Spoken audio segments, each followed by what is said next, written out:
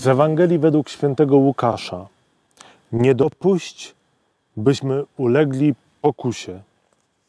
Oto e, bardzo poprawne tłumaczenie owego zdania z modlitwy pańskiej, z modlitwy Ojcze Nasz, które my w języku polskim e, deklamujemy niestety w wersji dużo uboższej. Trzeba więc właściwie wprost powiedzieć błędnej.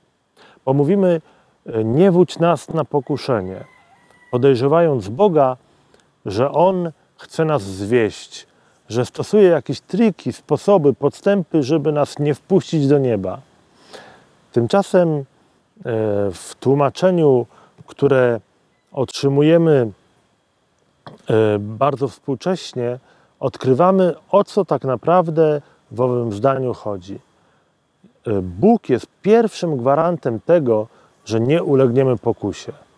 Jeżeli zaufam swoim siłom, to z pewnością upadnę. Jeżeli zaufam w swoje możliwości, to z, z pewnością popełnię milion błędów. Bóg gwarantuje swoją dobrocią i miłością, że będę uratowany, że nie ulegnę. Takiego mamy Boga. Do zobaczenia jutro.